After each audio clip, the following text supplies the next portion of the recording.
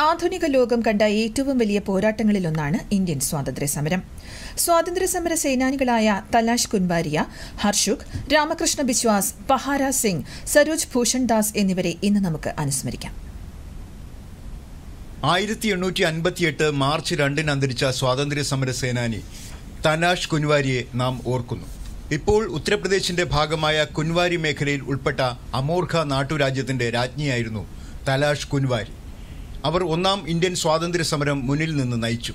ആയിരത്തി എണ്ണൂറ്റി അൻപത്തിരണ്ടിൽ ഭർത്താവ് ജംഗ് ബഹാദൂറിന്റെ മരണശേഷം കുൻവാരി നാട്ടുരാജ്യത്തിന്റെ ഭരണം ഏറ്റെടുത്തു. എന്നാൽ ബ്രിട്ടീഷ് സർക്കാർ നാട്ടുരാജ്യത്തെ കൂട്ടിച്ചേർക്കാൻ ആഗ്രഹിച്ചു. പക്ഷേ രാജ്ഞിയിൽ നിന്ന് കടുത്ത പ്രതിരോധം നേരിട്ടു.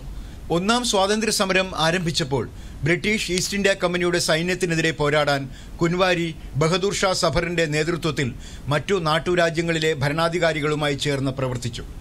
ആയിരത്തി എണ്ണൂറ്റി അൻപത്തി എട്ടിൽ കേണൽ ഹ്യൂസിന്റെ നേതൃത്വത്തിൽ ബ്രിട്ടീഷ് സൈന്യം നാട്ടുരാജ്യങ്ങളെ ആക്രമിക്കാൻ പുറപ്പെട്ടു.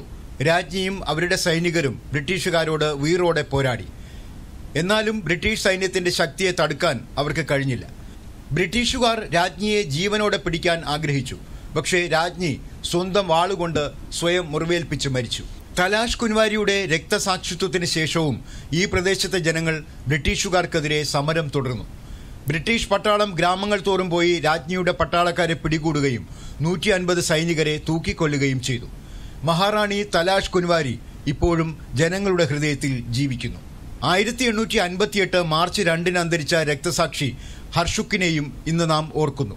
പൽവാൾ നിവാസിയായ ഹർഷുഖ് ആയിരത്തി എണ്ണൂറ്റി അൻപത്തിയേഴിൽ ബ്രിട്ടീഷ് ഭരണത്തിനെതിരായ ഒന്നാം ഇന്ത്യൻ സ്വാതന്ത്ര്യ സമരത്തിൽ സജീവമായി പങ്കെടുത്തു. അദ്ദേഹത്തെ ബ്രിട്ടീഷ് സൈന്യം പിടികൂടി ആയിരത്തി എണ്ണൂറ്റി അൻപത്തിയെട്ട് മാർച്ച് രണ്ടിന് ഡൽഹിയിൽ വച്ച് വധിച്ചു. മണ്ണിന്റെ മഹാനായ മകനെ ഞങ്ങൾ അഭിവാദ്യം ചെയ്യുന്നു. ആയിരത്തി തൊള്ളായിരത്തി മുപ്പത്തിരണ്ട് മാർച്ച് രണ്ടിന് രക്തസാക്ഷിത്വം വരിച്ച വിപ്ലവകാരിയായ സ്വാതന്ത്ര്യ സമര സേനാനി രാമകൃഷ്ണ ബിശ്വാസിനെയും ഇന്ന് ഓർക്കുന്നു. മാസ്റ്റർ ദാസ് സൂര്യസെന്നിന്റെ ചിറ്റഗോങ്ങിലെ വിപ്ലവകാരികളുടെ സംഘത്തിലെ അംഗമായിരുന്നു ബിശ്വാസ്. ആയിരത്തി തൊള്ളായിരത്തി പത്ത് ജനുവരി പതിനാറിന് ചിറ്റഗോങ്ങിലാണ് ബിശ്വാസ് ജനിച്ചത്. ഇൻസ്പെക്ടർ ജനറലായ ക്രെയ്ഗിനെ വധിക്കാനുള്ള ദൗത്യം സൂര്യസെൻ അദ്ദേഹത്തെ ഏൽപ്പിച്ചു.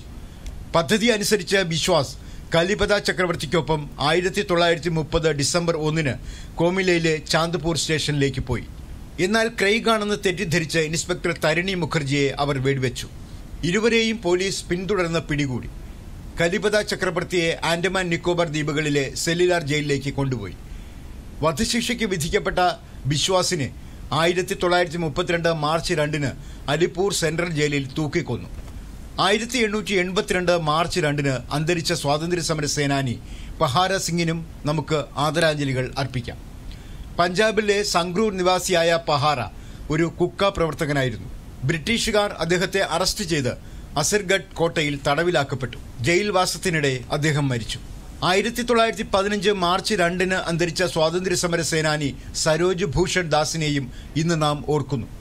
അധ്യാപകനായ ദാസ് പശ്ചിമ ബംഗാളിലെ കൽക്കട്ടയിൽ ദേശീയ പ്രവർത്തനങ്ങളിൽ പങ്കെടുത്തിരുന്നു.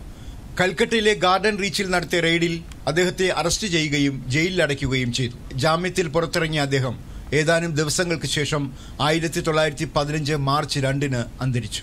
News desk Doordarshan.